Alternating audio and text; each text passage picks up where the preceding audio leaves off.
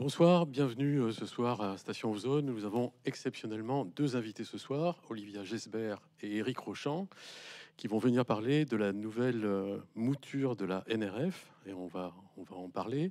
Et ensuite, euh, Éric Rochant viendra nous expliquer pourquoi il a écrit un texte à l'intérieur de cette NRF sur les adaptations. Mais d'abord, présentation de nos invités. Olivia Gesbert, pardon, vous êtes euh, une femme de radio. Vous avez pendant 20 ans travaillé à Radio France, 10 ans à France Inter, 10 ans à France Culture, et on n'a pas oublié la grande table. Vous êtes maintenant euh, la nouvelle rédactrice en chef de la nouvelle, nouvelle, nouvelle revue euh, française, qui est la prestigieuse revue de Gallimard, qui existe depuis 115 ans.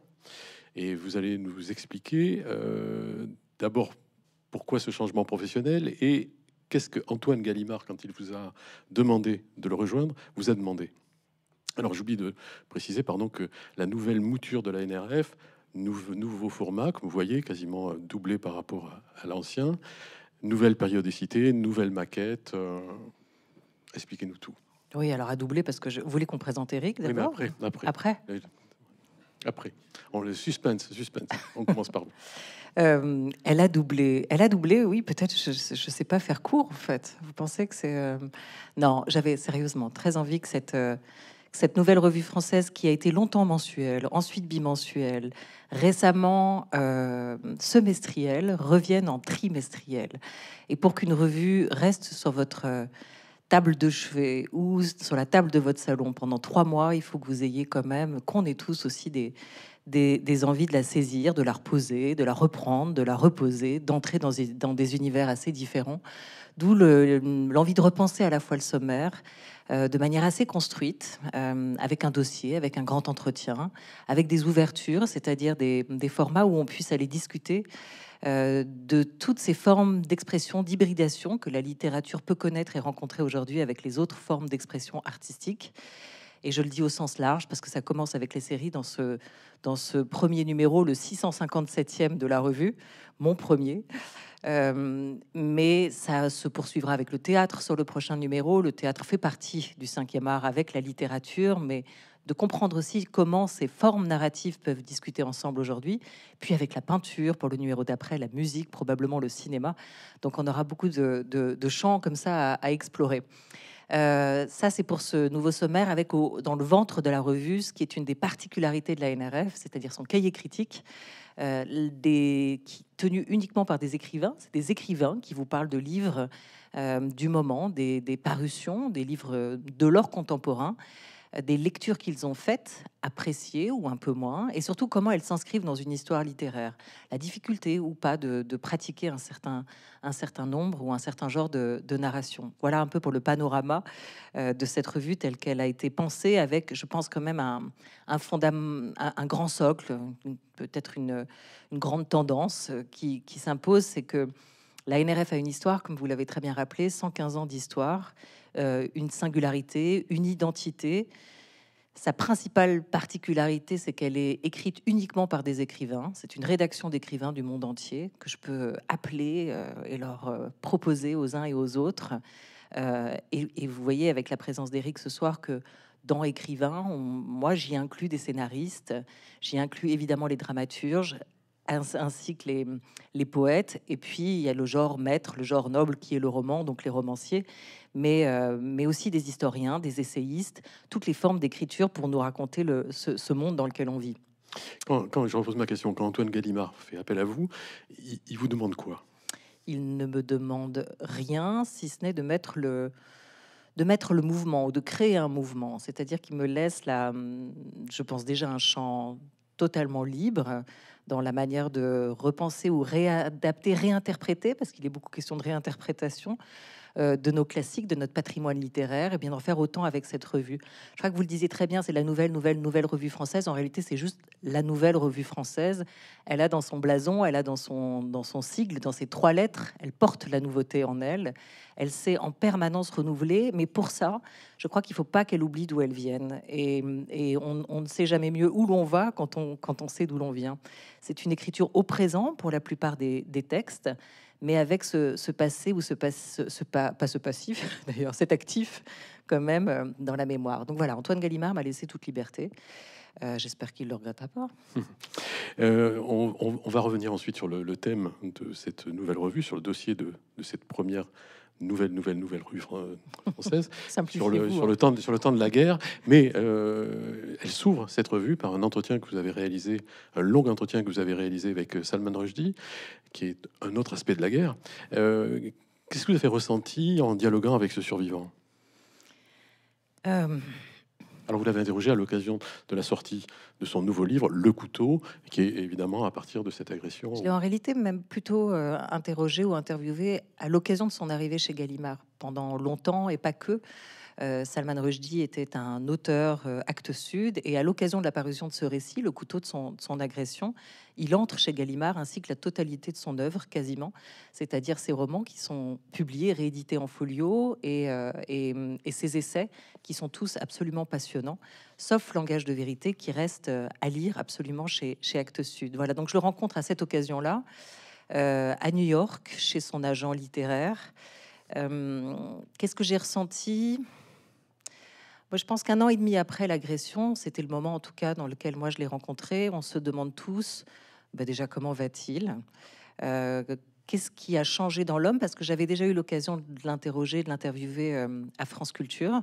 Donc je pense que le premier réflexe qu'on a, c'est d'essayer de, de voir ce que ça a changé, euh, cette agression extrêmement violente, puisque Salman Rushdie a été poignardé euh, au couteau sur une scène dans un État de New York alors qu'il allait donner une conférence sur la liberté de création et la liberté d'expression.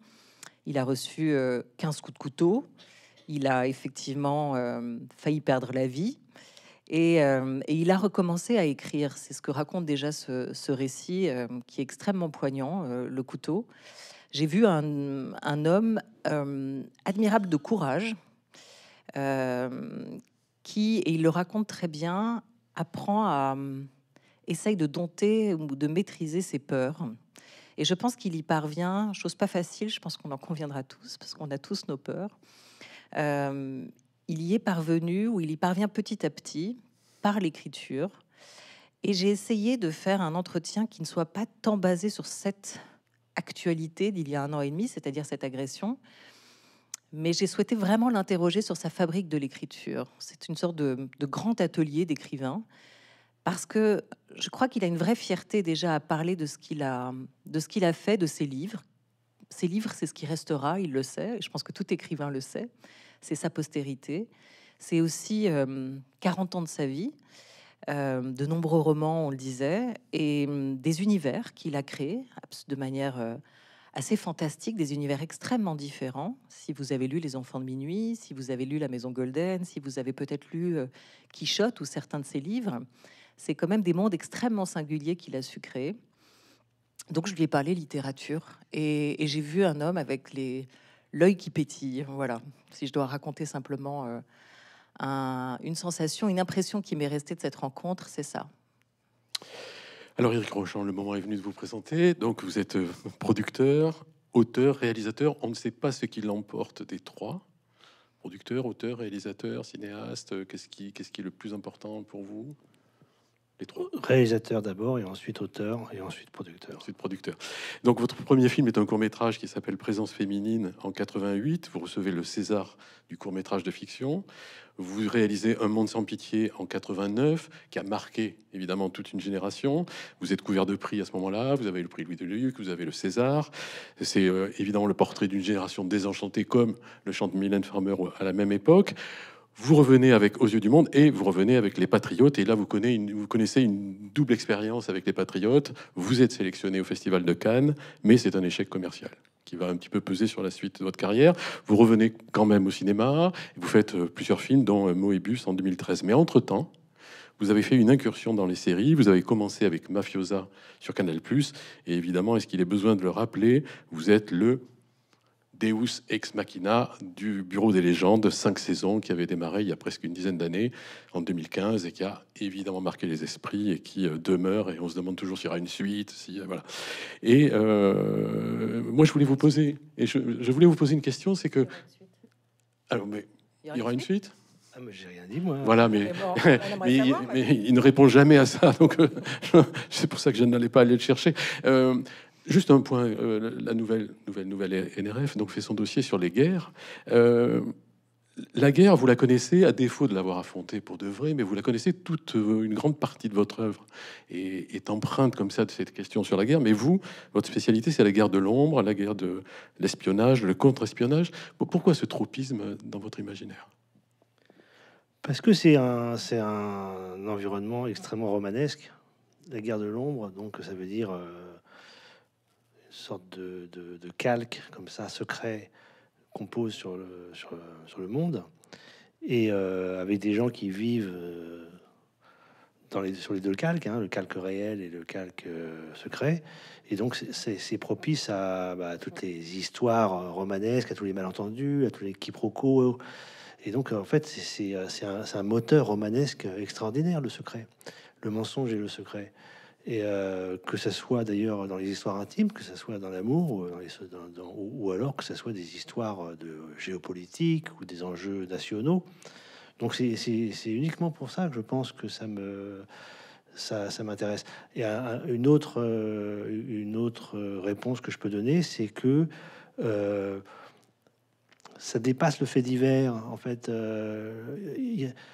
dans les histoires d'espionnage. Euh, il y a euh, la même chose que dans les films, dans les, histoires policières. Il y a la tension, de la violence, du suspense, mais c'est plus grand que le fait divers puisque ça concerne euh, les relations entre États et donc la géopolitique. Et donc voilà. Et donc c'est peut-être pour ça aussi que ça m'intéresse plus.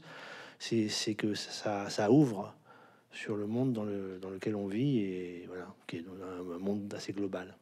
Vous avez quand même fait des œuvres très fortes là-dessus, enfin les Patriotes, Möbius, euh, le Bureau des légendes. Euh, à, partir de quand votre imaginaire a été comme ça euh, aussi fortement imprégné de ce désir d'entrer dans ce monde secret?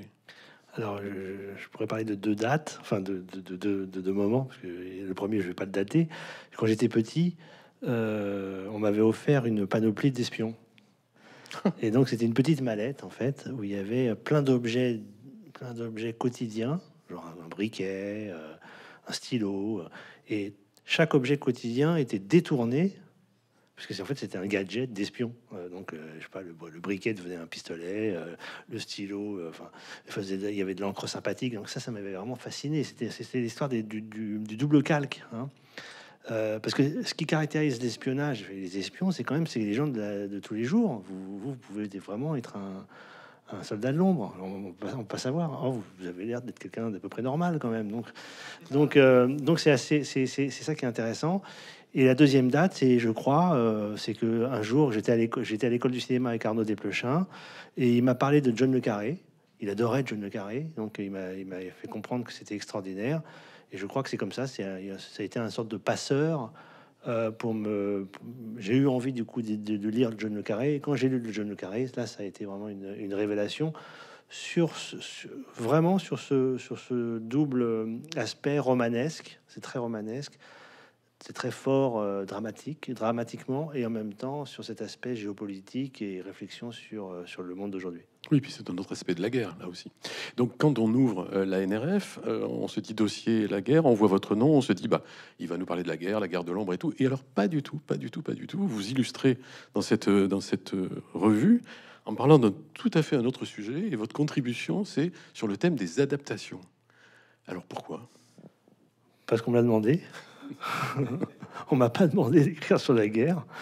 Euh, on m'a demandé d'écrire sur l'adaptation. Donc euh, pourquoi pas D'autant plus que ce que je, le dis dans, le texte, c'est que je suis en train d'adapter euh, un gros roman. Et donc c'est vrai que... ce que vous dites dans le texte, avant ça, ce que vous dites dans le texte, c'est que surtout, votre œuvre n'est pas une œuvre d'adaptation, et que vous vous êtes beaucoup, non pas méfié, mais en tout cas, ça n'était pas votre mode. Vous, vous étiez pour des histoires originales. Et à un moment, vous révélez effectivement que vous passez à l'adaptation. Mais avant, pourquoi cette méfiance et pourquoi ce, euh, cette volonté farouche de ne pas faire d'adaptation? Euh, je crois que je suis né au cinéma avec l'envie de de, de, raconter mes propres histoires. Euh, vraiment, j'ai jamais pensé, donc quand j'ai fait mes premiers courts métrages, ou même mon premier film, Monde sans pitié, ou même mon deuxième. Enfin bref, j'ai jamais pensé à adapter. Euh, j'ai toujours plutôt eu envie de raconter mes propres histoires avec mon propre mouvement. voilà. je devais avoir aussi une petite, une petite réserve sur l'adaptation, me disant que ceux qui adaptaient, c'est ceux qui n'avaient pas d'imagination. Quoi, hein. Donc, je, me repens de cette, de cette pensée, hein, mais disons que ça devait participer de ça.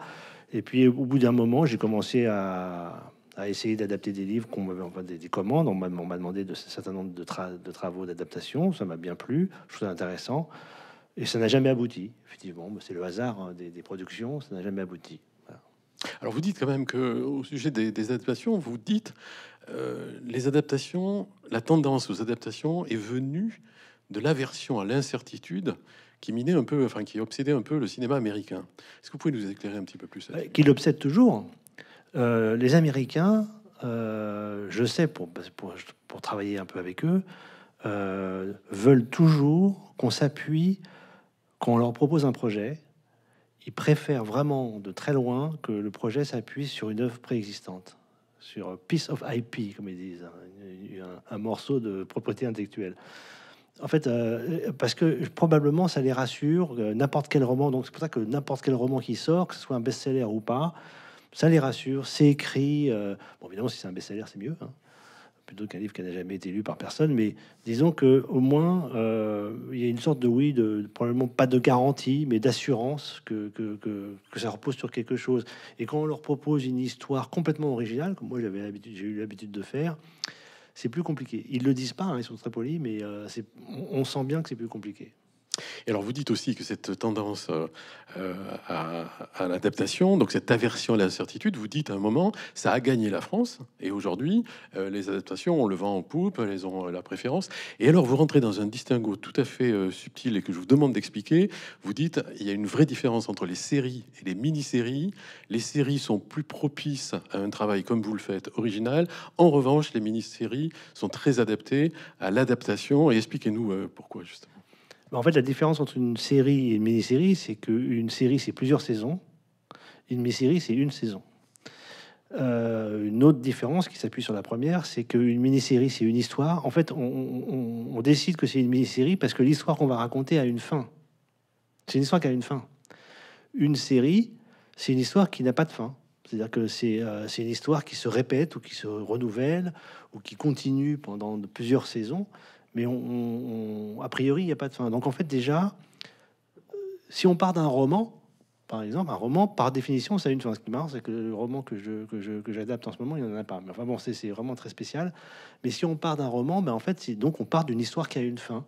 Et par définition, une histoire qui a une fin, on peut on peut les tirer sur plusieurs saisons. Hein. On peut encore euh, vraiment les tirer, hein, deux trois deux trois saisons, donc euh, disons trois fois dix épisodes par exemple. Mais en général, on raconte cette histoire comme un grand film découpé en morceaux. Hein, c'est une mini-série, c'est ça, c'est un grand film, long film, découpé en 8 ou 10 morceaux, autant d'épisodes.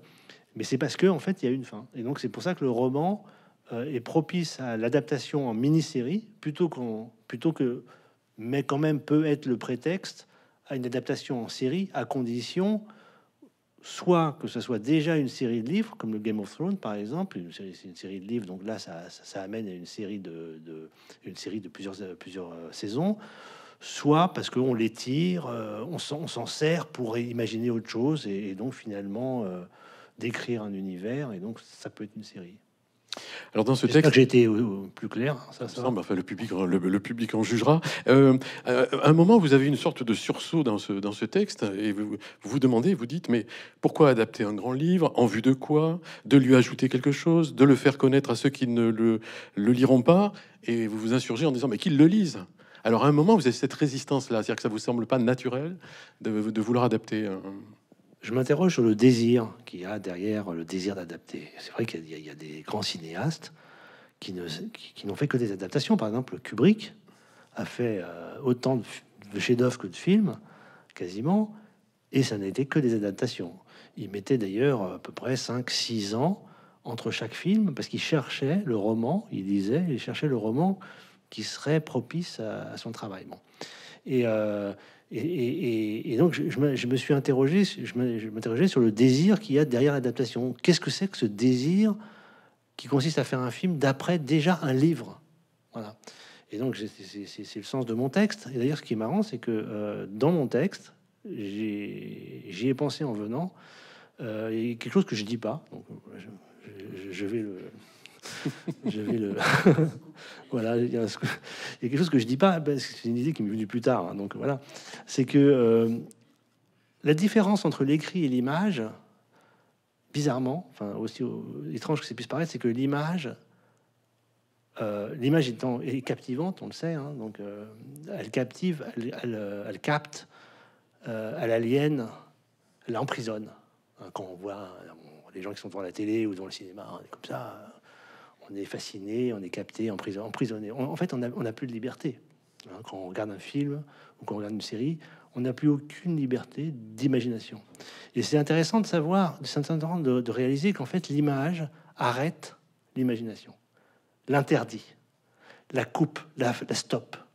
Alors que le roman, la littérature, c'est en fait c'est une libération d'imagination et donc c'est bien pour ça qu'il y a autant de lectures que de lecteurs autant d'univers à partir d'un livre autant d'univers que de lecteurs puisque chacun euh, se laisse euh, la, même héroïne et ma Bovary probablement à, un million un milliard de visages.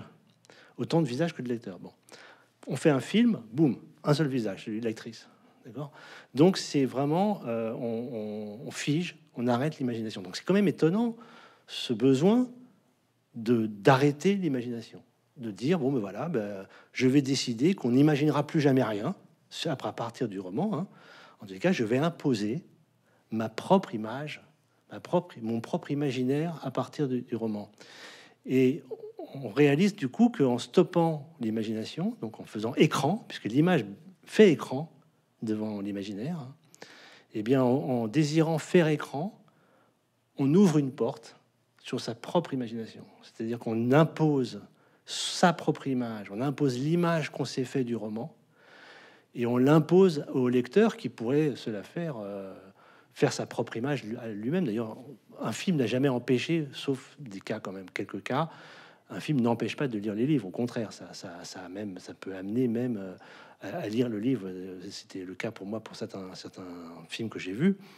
Mais en fait, on ouvre la porte à son propre imaginaire. Donc ça, je le dis aussi dans le texte, c'est que faire un film à, partir d'un roman, ben, en fait, c'est juste une, un prétexte. Hein. Hmm. Le roman n'est qu'un prétexte euh, pour ouvrir la porte sur son propre imaginaire. Voilà. Alors, à la suite de votre texte, dans la NRF, il y a un texte de Tristan Garcia et il y a aussi un texte d'Hervé Letellier. Et Hervé Letellier dit L'adaptation impose le deuil d'un imaginaire. C'est ce que vous nous venez d'expliquer. voilà, je crois que c'est à peu près la même chose.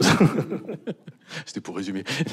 Euh, malgré tout, vous revenez sans arrêt dans le texte, enfin comme un, mouvement tournant, sur sans arrêt, vous vous demandez mais, mais pourquoi, pourquoi ce désir, pourquoi, pourquoi on y revient? Et vous dites en même temps tout cinéaste ne peut pas s'empêcher, lisant un livre, de projeter le film qu'il voudrait adapter de cette lecture. Alors, c'est quoi ce mouvement comme ça impératif quand vous lisez des livres? Et à l'égard duquel vous vous êtes, euh, vous êtes tenu malgré tout à l'écart. Donc vous étiez entre un tiraillement entre des films qui défilaient dans votre tête et vous vous interdisiez de, de, de, les explorer. Bah, déjà, un, roman qu'on lit peut être euh, une limite à sa propre imagination. Par exemple, il y a un roman vraiment que, j'adore, qui, est euh, De par chez nous, c'est une nouvelle de, de, Pavès. Et j'ai toujours. Donc j'adore cette nouvelle, qui est absolument magnifique. Et j'ai évidemment, c'est mon réflexe, j'ai toujours réfléchi, imaginé, essayé même d'adapter. Donc je, m'interroge sur ce, désir. J'adore ce roman, enfin j'adore cette nouvelle. Ça m'a fait partir comme ça sur, les chemins. Euh, sur, les chemins de, l'Italie, euh, sous, un soleil de plomb, avec une histoire assez romanesque très très forte. Je m'interroge pourquoi, aurais-je envie d'en faire un film? Quel intérêt? Enfin, Là, pour le coup, le roman lui-même euh, m'arrête, m'intimide, euh, me dit bah non, tu n'as aucune raison de m'adapter. Bon.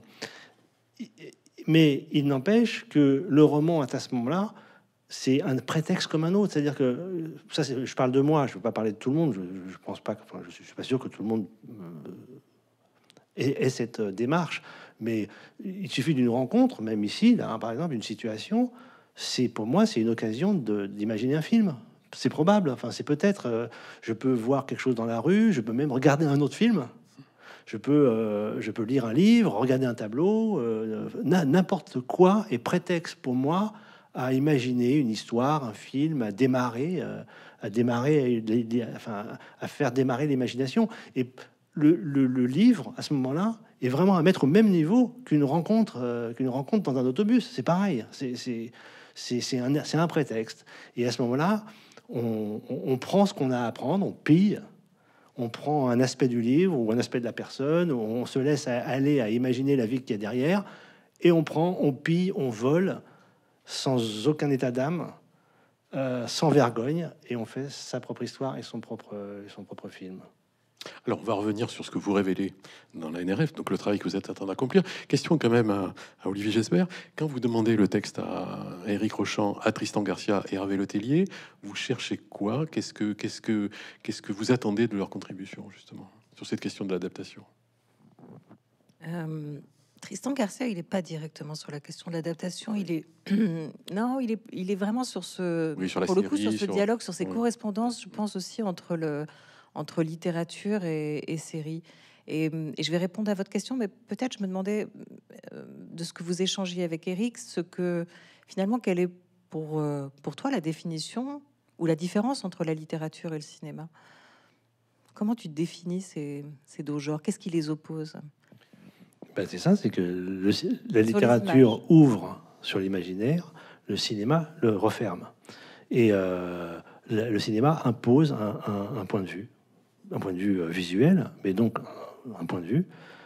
tu n'as pas fait du cinéma en te disant que ça allait refermer les imaginaires en même temps? Non, c'est pas. J'ai pris l'aspect positif qui est au, contraire de, de, alors c'est un aspect un peu manipulateur. Hein, c'est un aspect de, de c'est un aspect de d'obliger l'autre à épouser son propre regard, en se disant que son propre son propre regard, on espère, va un peu servir à l'autre, enfin va lui faire plaisir en tous les cas ou va le, servir, ou va le, lui permettre euh, de faire un chemin, de faire euh, un voyage, euh, voilà. Mais c'est passé par son propre regard. C'est assez narcissique hein, en fait, hein, comme démarche au bout du compte. Mais je pense que la littérature c'est assez narcissique aussi d'une autre manière. Mais donc, de, ce qui est sûr, c'est que la différence entre la littérature et le cinéma, c'est que le cinéma passant par les images, racontant une histoire par le langage cinématographique, c'est-à-dire le langage du montage des images, parce que le cinéma c'est du montage d'abord, eh bien, ça impose un regard. C'est imposer un regard et non pas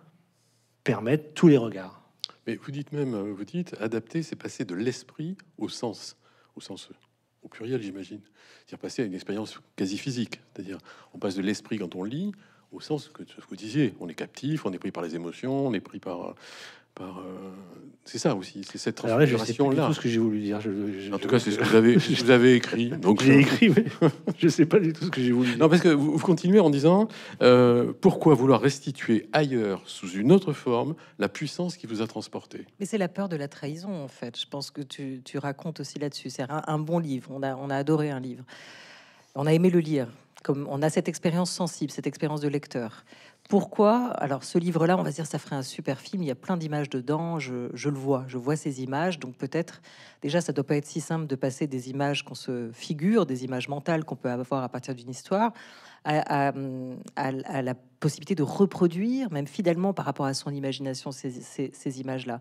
Mais surtout, pourquoi s'il le livrait bien, pourquoi en faire un film? Mmh. En fait, ce qui, ce qui, pour moi, le, mot de, trahison, je sais plus si tu le formules ou pas dans cet article, traverse pardon, quand même, en tout cas, moi je me le suis imaginé, traverse aussi cette, réflexion que tu, que, que, tu peux avoir. Et après, juste, je refais, je reboucle, malheureusement, pardon, mais ce que je trouve intéressant, ou la question que je leur ai posée aux trois, était de savoir comment on écrivait pour les séries et comment on écrivait pour le roman. En gros, est-ce qu'on écrivait différemment ou est-ce que c'était la même écriture?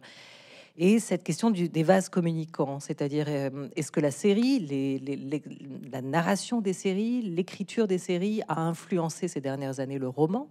Et est-ce que à Éric Rochant, la littérature, le roman, l'a lui influencé en étant lecteur euh, dans son écriture des séries? Est-ce qu'il y a des oui, finalement, des formes d'écriture ou de narration qui sont très différentes? Donc Hervé Letellier revient sur la question du dialogue. Euh, Tristan Garcia revient plus sur la question de la technique, de la technologie et de ce qu'elle peut faire à la narration. Euh, des vieux feuilletons qu'on regardait dans les années 90 aux nouvelles séries aujourd'hui, avec l'effet des plateformes et de la, du flux en fait permanent, de la fragmentation aussi qu'on peut avoir dans, dans l'offre, euh, avec ces flux stockés par les plateformes de, de, récits, cette multitude de récits et, la manière dont ça peut aussi se formater ou se déconstruire éventuellement à l'avenir. Et, euh, Eric revient là-dessus. Mais juste pour vous dire la dernière anecdote, c'est quand j'ai proposé effectivement à, Eric Rochant d'écrire sur cette question, la première chose que tu m'as dite, c'est je ne suis pas écrivain. Je dis mais tu passes ta journée à écrire tes journées d'ailleurs, pas simplement ta journée à, écrire, puisqu'il est avant tout showrunner ou scénariste, en travaillant sur 50 projets à la fois. Et il y a eu quand même euh, ta première réaction a été une pas une frilosité, peut-être une inquiétude ou la, de ne pas être euh, de, je sais pas, dis-nous, peut-être pas être sûr de pouvoir mettre cette pensée là ou cette euh, c'est ce que je dis au sentiment d'illégitimité? Non, c'est ce, que je dis aux jeunes euh, scénaristes avec qui euh, je travaille ou à qui, j'apprends un peu le métier, c'est que euh, écrire un scénario, c'est certes, c'est pas de la littérature. Un scénario, c'est pas, ça n'est pas une œuvre littéraire. Pourquoi? Parce que un scénario, c'est la description bête et méchante, pas très bête, pas si méchante que ça, mais quand même, disons simple, la simple description d'un film à venir on décrit le film. On, part de rien, on ne sait pas, le film n'existe pas, et pourtant, un scénario, c'est la description d'un film à venir. Sachant qu'un film, euh, ce qu'on filme, c'est que la surface des choses. On ne, rentre pas dans la tête des personnages. Il y a un truc qui est interdit, par exemple, euh, sauf, sauf à travers une, petite, euh, une petite technique, mais il y a un truc qui est interdit, c'est de quand on écrit un scénario, c'est de dire ce qu'il y a dans la tête des personnages, même de dire ce qu'ils ressentent. Faut prouver qu'ils le ressentent ou qu'ils pensent ça. Faut, faut, le montrer. En fait, c'est une monstration. Hein. Un, scénario et un film, c'est montrer les choses. Donc, ça sert à rien d'écrire. Et ça, c'est le problème, le, le de la littérature. C'est qu'on rentre dans la tête des personnages on dit ce qu'ils pensent, ce qu'ils ressentent, on décrit à travers des mots des choses extrêmement complexes qu'ils sont en train de ressentir et de penser. Au cinéma, c'est absolument interdit. En cinéma, il faut le montrer. Et il y a beaucoup de choses qu'on n'arrive pas à montrer. Alors, la, technique, l'astuce, c'est la voix off. Bon, la voix off, on, entend la pensée, d'accord. L'autre astuce ou l'autre biais, c'est le dialogue. Effectivement, par le dialogue, un personnage peut s'exprimer. Mais d'abord, un personnage n'exprime pas ce qu'il ressent. Il peut mentir, il peut se mentir à lui-même. C'est toujours ce que je dis, c'est-à-dire que la littéralité du dialogue ne dit pas la vérité du personnage, puisque la vérité du personnage est beaucoup plus complexe, et, surtout, c'est que le personnage ne la connaît pas lui-même. Donc, c'est ça la grande différence entre la littérature et le cinéma, c'est que le cinéma euh, monte la surface des choses, que ce soit même euh, audiovisuel, disons, mais la littérature rentre à l'intérieur et pénètre et traverse le réel. Le cinéma montre le réel. Et ça, c'est la grande différence. Donc, ça veut dire que pour que le cinéma puisse raconter des choses aussi complexes que la littérature, il doit user de subterfuges qu'on appelle des métaphores. Donc, à travers des métaphores cinématographiques, c'est-à-dire à travers une situation, des dialogues, des couleurs, de la lumière, de la musique. C'est des métaphores dont la matière est multiple. Hein et, utilise toutes les techniques de tous les arts, en fait, hein, quasiment. Euh, trouve celle du toucher, donc, mais à part ça, on, utilise tout. Et eh bien, à travers ces métaphores, on arrive à traverser ce qu'on voit pour atteindre une vérité. Mais la métaphore est cinématographique et elle n'est pas littéraire. Donc vraiment, écrire un scénario, c'est certainement pas une œuvre littéraire. On peut faire de la littérature tant qu'on veut. On peut l'écrire parfaitement bien ça peut être absolument génial. L'écriture, le style du scénario lui-même, ça n'a aucun intérêt, puisque de toute façon, à la après, faut le filmer. Voyez? Donc euh, voilà, c'est pour ça que j'ai estimé qu'en écrivant autant de scénarios que, j'ai écrit, ben, je suis absolument pas euh, écrivain.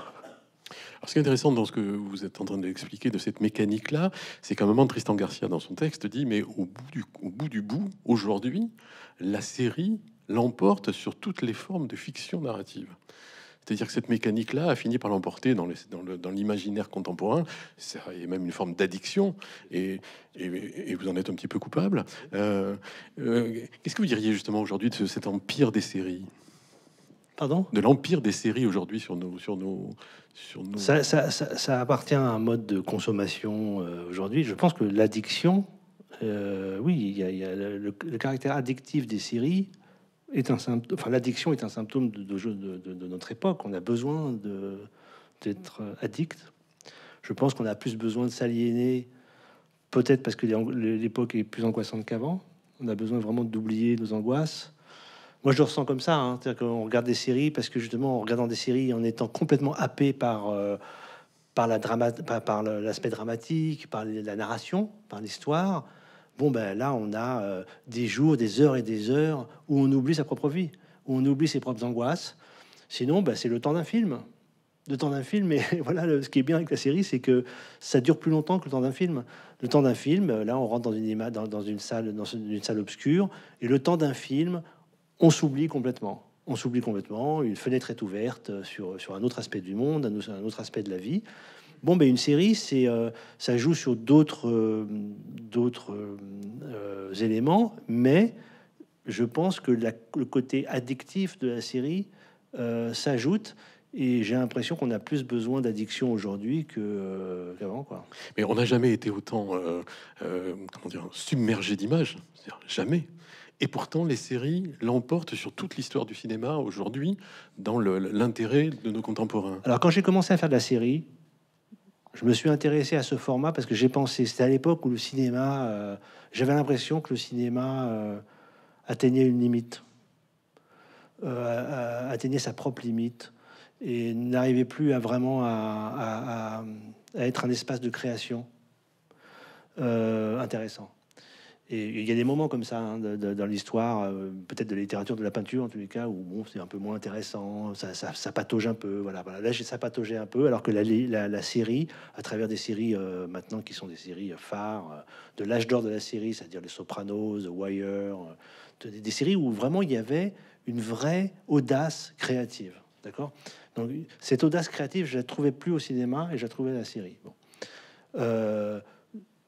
Euh, Maintenant, bon, il y a un mouvement de. Maintenant, avec l'arrivée des plateformes, je pense que ça, ça s'est un peu euh, inversé. C'est-à-dire que l'audace, cré- il y a plus d'audace créative. Expliquez bien, parce que on en a un petit peu parlé avant cette rencontre. Euh, vous dites euh, d'abord l'âge d'or est passé, donc il faudrait que vous Ouais, définissiez l'âge d'or. ouais. Et vous dites aussi il y a eu une, une fabrication industrielle des séries qui a fini par, par, par l'assécher. Est-ce que, vous pouvez expliquer ça? Euh, il y a un truc très important, je crois, qu'il faut dire d'abord, c'est que la différence entre la série et le cinéma, c'est que la série, de par son format, de plusieurs heures de fiction, même découpée en morceaux hein, par, épisode, sur plusieurs années. Les grandes séries de l'âge d'or, c'est des séries qui ont eu six saisons. Et euh, quand, par exemple, ça mettait en scène des familles, les enfants, d'une année à l'autre, prenaient deux ans. ils, étaient, plus du tout des, enfants, ils étaient des adolescents. Enfin, on, les voyait vieillir. Et donc là, il y avait quand même un aspect réel, incroyable. hein. C'est-à-dire que tout d'un coup, la fiction, de toute façon, dans la, de la fiction, transpirait le réel, puisque les gens, leur corps changeait. Alors là, on peut pas tricher. Bon. Et donc la série, de par son format, épouse le rythme de la vie, beaucoup plus que le cinéma. Le cinéma doit métaphoriser, doit condenser des choses. La série peut se laisser aller à raconter des vies ou des existences, et donc elle épouse, elle est, mieux faite pour épouser le rythme de la vie. Donc ça c'est la première chose. Et l'âge d'or de la série, je crois que c'est- au moment où effectivement euh, les diffuseurs ou les producteurs allaient voir les auteurs et leur disaient vas-y. Parce qu'ils devaient se démarquer du cinéma. Et pour se démarquer du cinéma, ils donnaient carte blanche aux auteurs, quasi, quasi, carte blanche. Donc en fait, c'était vraiment un espace de création. Avec l'arrivée, et donc évidemment, ça a super bien marché. Donc les séries, euh, il y a eu une addiction aux séries parce que les séries étaient un espace de création, de créativité. Eh bien, ça a été victime de son propre succès. Et donc, tout le monde a voulu, enfin, tous les diffuseurs, toutes les productions ont voulu faire des séries, et les plateformes s'y sont mises. Et à ce moment-là, Netflix est arrivé, ensuite Amazon, ensuite Apple, ensuite Disney, ensuite HBO, etc. Ils, ils ont tous fait. Et là, il y a eu une profusion. C'est le succès de la série. hein. C'est le succès de la série. Et la série, la créativité a été écrasée par le poids de son propre succès. Et donc, du coup, ben voilà. Donc maintenant, c'est des centaines et des centaines de, de- nouvelles séries qui arrivent chaque année. Voilà. Et euh, finalement, il y, a, il y a une sorte de, c'est une sorte d'usine à fiction où la créativité euh, passe derrière le besoin de remplir le vide. Et ça, c'était le principe même de la télévision. C'est-à-dire qu'il y avait un, comme ça, il y avait un écran, il y avait un flux temporel euh, du matin au soir. Il fallait remplir le vide. Remplir le vide, ça n'a jamais correspondu à un désir créatif. Le cinéma, c'est un désir d'abord. C'est le désir de raconter une histoire. C'est pas la salle qui, qui préexiste. C'est le film qui crée la salle. La télé, c'était l'écran qui créait la, qui créait, euh, qui, qui fallait, il fallait, il fallait qu'on remplisse. Voilà. Et là, c'est un peu la même chose. Faut qu'on remplisse, euh, faut qu'on remplisse. Bon, il existe encore des, des séries très créatives, et je pense que ça va revenir. Ça va revenir parce qu'en fait, dans cette euh, profusion de, de- séries standardisées, des créateurs vont, vont- des créateurs arrivent et vont arriver et vont se servir de, de- cette nouvelle réalité pour de nouveau faire du nouveau, je dirais. Mais la série a été aussi tuée par le fait, et ça par la par l'adaptation, c'est-à-dire par le fait que tout d'un coup, il y avait tellement de demandes, il y a eu une tellement, il y a eu une telle demande de, de, de- production que euh, il n'y a pas, y a pas assez d'imagination. Les gens n'ont pas assez d'imagination, donc ils partent de, de romans. Ils disent bah, tiens, on va adapter ce. Jamais on adapte des romans. Enfin, au départ, adapter une série, c'était pas obligatoirement adapter. Enfin, faire une série, c'était pas obligatoirement adapter un roman. C'est de dire bah, je vais faire une, je vais, faire euh, une série sur Baltimore. euh, je vais, je vais, voilà, ça c'est euh, c'est David Simon. Voilà, bon. Et, mais là, il y a une telle demande que ben, prenons des romans. Mais les romans, ils ont une fin. C'est plus pareil. Donc maintenant, il y a beaucoup de mini-séries. Voilà. Voilà, on est dans un, dans un moment de creux. Alors, votre, votre, votre adaptation, ce que vous révélez donc dans la NRF, vous êtes en train d'adapter un roman de Norman Mailer, un, roman de 1000 pages. Euh, série, film, mini-série, euh, Bah. clip, c'est quoi? Si vous avez bien retenu ce que j'ai dit, euh, le roman a une fin. C'est un roman, ça a une fin, donc c'est une mini-série. Alors le fait est que c'est une fin ouverte. donc du coup, on peut imaginer une seconde, euh, une seconde saison. Qu'est-ce qui s'est passé pour que d'un seul coup, Eric Rochant, euh, voilà, mais c'est intéressant parce que c'est une question que je peux me poser. Ça fait, ça fait 25 ans que j'ai lu ce, ce- ce roman. Et pour moi, ça a été un, c'est un, bon, un choc littéraire hein, déjà. alors c'est lequel? C'est Arlo's Ghost, euh, c'est Arlo et son fantôme de Norman Mailer. Et alors, c'est pas si éloigné de l'espionnage, puisque quand même, ça raconte, euh, c'est une portion d'histoire de la CIA, des années 50 aux années 80. Donc, c'est histoire de, la CIA, histoire de de- l'Amérique, à travers cette histoire, mais c'est aussi un, récit romanesque incroyable, extraordinaire. Moi, je serais absolument incapable de, créer. Déjà, euh, je, m'appuie sur euh, la création d'un- romancier euh, hors pair. Donc c'est un choc littéraire parce que c'est extrêmement bien écrit, c'est d'une intelligence euh, incroyable et c'est très romanesque. Donc, ça donc depuis, que j'ai lu ce roman, j'ai toujours eu envie de. Je me dis, enfin, c'était un rêve, hein, c'était pas, pas une envie, c'était un rêve. De, oh, ça serait, ça serait formidable euh, si on pouvait le, si je pouvais faire quelque chose autour de ça, etc. Mais sans oser évidemment euh, penser que c'était possible. Et puis je suis arrivé à un moment de ma carrière où finalement, finalement, ça peut être possible. Donc je me suis attaqué à, l'adaptation de ce roman. On le voit quand? On le voit sous quelle forme? Alors si on le voit, parce que dans le cinéma, on n'est jamais certain de, faire, les choses qu'on a envie de faire. hein. Donc on commence, on commence, et puis d'un coup ça s'arrête. hein. Euh, euh, dans l'assistance, il y a Pierre Novion, euh, le chef opérateur de quasiment tous mes films, qui, sait ce que ça veut dire, puisque mon premier film, Un monde sans pitié, s'est arrêté en, au bout de trois semaines de tournage. Donc des fois, les, productions s'arrêtent. hein, faute d'argent, euh, en général, faute d'argent ou faute de désir. Enfin, des fois, les trucs s'arrêtent euh, avant même qu'on les écrive. Une fois qu'on les a écrits, des fois en même temps qu'on, moment où on les tourne. Donc, on sait jamais. Mais si jamais je le fais, euh, ça, ça sortira en 2026. 2026, très bien. Ah oui, c'est, pas, pas spontané, hein, comme un- Non, non, non, mais au moins, non, mais au moins on a une date. Quoi. On, est presque sûr que ça va se faire. Donc euh, voilà, on le souhaite. Euh, Olivia, je reviens euh, vers vous sur le thème de, donc le thème dominant de cette de cette euh, nouvelle revue. Donc sur le temps de la guerre. Donc la guerre, on croyait qu'elle avait disparu en tout cas dans le continent européen et depuis la, guerre des Balkans, mais on se croyait un petit peu préservé. Et voilà que ça devient un petit peu l'horizon, l'horizon de notre présent.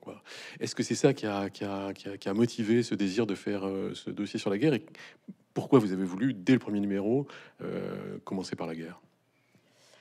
C'est exactement pour ça. Je pense que c'était une interrogation. Ça commence toujours là, d'essayer de, comprendre pourquoi il y avait si peu de, de littérature au sens large sur, sur la guerre actuellement et notamment la, la, guerre en Ukraine. Ça faisait déjà, on arrivait à cette triste date anniversaire du début de la guerre en Ukraine deux ans après. Et il y avait vraiment, je trouvais très peu de, livres écrits, y compris de la part d'un grand romancier que vous connaissez, euh, qui, s'appelle Andrei Kourkov, qui est euh, euh, ukrainien lui-même, et que j'avais rencontré en fait quand j'étais à France Culture, dès le premier jour, quand il y avait eu les bombardements sur, Kiev. On, avait essayé de l'appeler, il avait accepté de, de nous raconter à ce moment-là en direct dans l'émission et raconter les premiers instants. Et il il croyait pas que ça allait continuer. Il disait, on, attendait que ce moment arrive, mais en, même, temps, on n'y croit pas et on pense que ça va s'arrêter. Puis le temps euh, a, passé, la, vie dans la guerre a commencé à s'installer.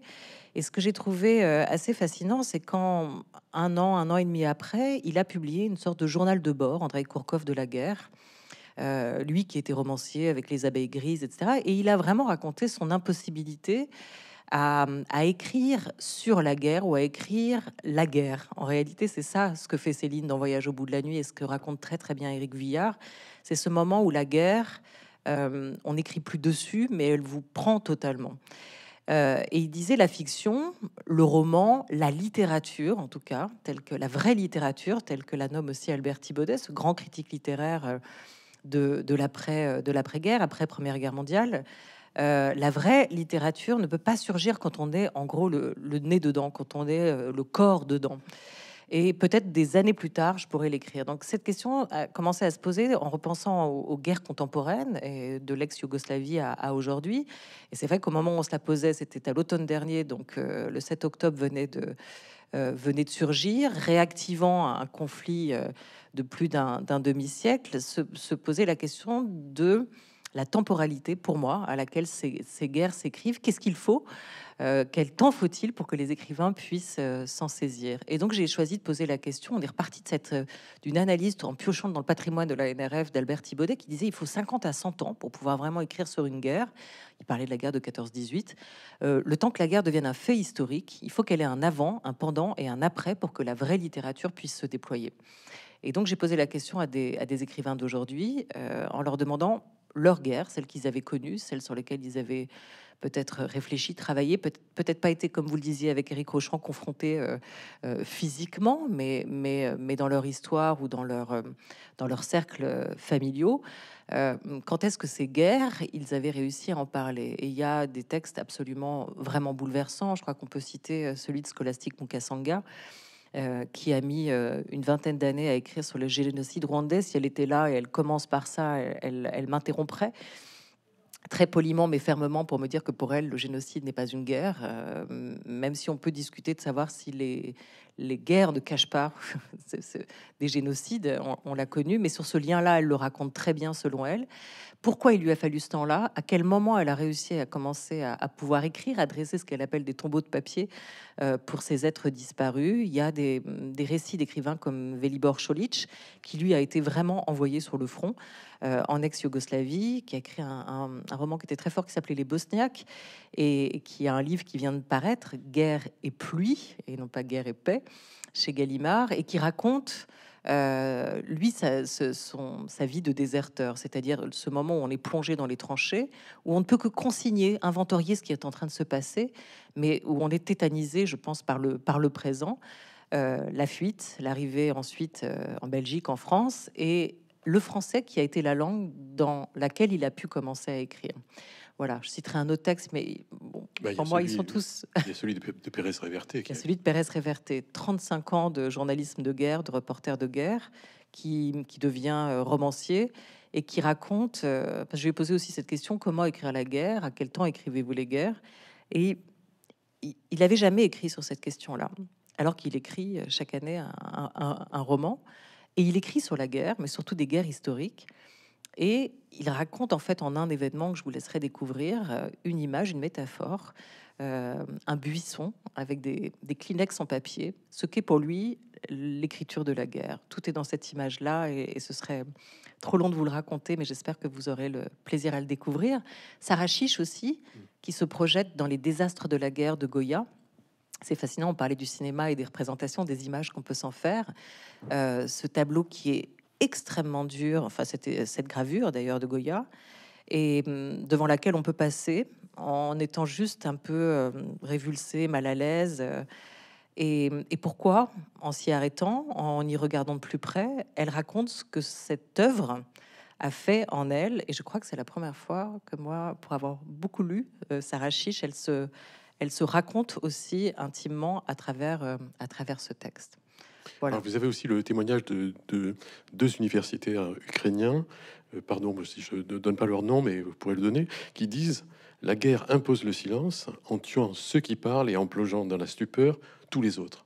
Donc, ce qui euh, justifie ce que vous dites, c'est-à-dire qu'en effet, il faut ce temps-là, quoi, ce temps de s'arracher à cette stupeur, à cet effroi, à cet impensable, et donc tout votre travail est justement de revenir sur cette, comme vous dites, la temporalité, enfin les temps du moment où on trouve les mots à la fois pour le vivre et pour le dire. Hein. C'est ça, c'est la guerre, mais au défi de ça, au défi de raconter ça. Et la plupart la langue, hein, trouver la langue, c'est ça. Et la plupart d'entre eux disent que c'est extrêmement difficile. Oui, c'est ça.